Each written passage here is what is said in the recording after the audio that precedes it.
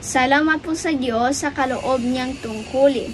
Ako po ay isang si Teatro Kristiyano, masiglang sumasayaw sa saliw ng awit na papuri sa Diyos. Gaya ng nakasulat sa 149.3 ng awit. Purihin nila ang kanyang pangalan ng sayaw. Milyong salamat po sa Diyos sa buong taong pag-iingat.